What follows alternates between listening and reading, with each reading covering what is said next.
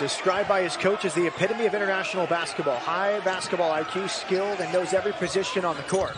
There's Sasser with a three. Back for Sharp.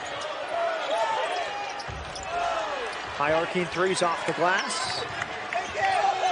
Step back for Marcus Sasser. In three years, we're going to be talking about what a star Terrance Arceneaux is. He's got to find his role. He needs to be more aggressive, and he needs to play with confidence and forget the results. Let shots fly. You're open, take your shot. Here he is, first possession. Cougars up by 13. Ramon Walker Jr. out to Marcus Sasser. From deep. What, what he's doing is he's showing the rep. I'm not, I don't have my hands on him. I'm, I'm not making contact. And a lot of coaches play no hands defense. Oh my gosh. You treat everybody the same. You don't have goose gander, different treatment.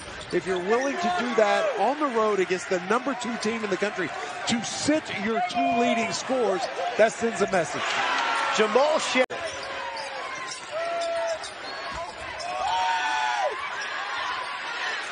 And somehow kept that play alive. A near save, and now it's Sasser.